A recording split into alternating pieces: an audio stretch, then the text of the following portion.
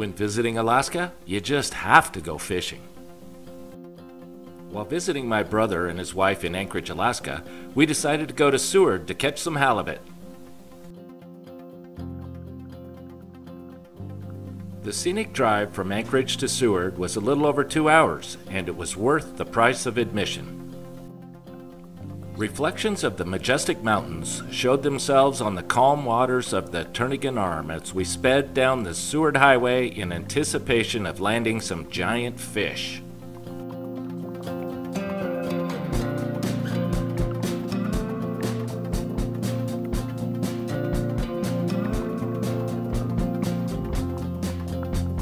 We chartered the trip with Alaska Northern Outfitters on the boat SeaQuest with Captain Sean and his amazing deckhand Jed. They took us three hours out of Seward in search of the elusive halibut.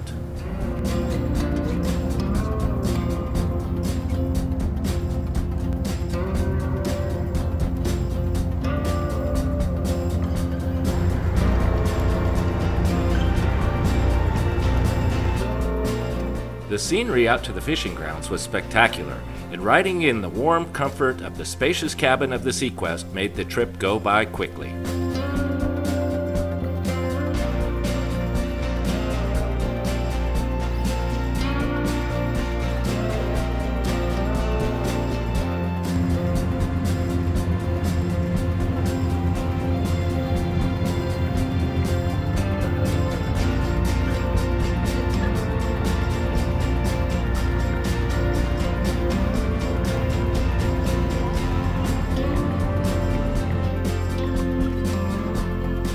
Wasn't long after dropping anchor that the action began. We'll look at to Merle. You need some WD-40 on this. please. Some hydraulics, huh? Hell, yes. What the hell is that? Oh, you Nothing. Quoback. Oh, oh. Perfect.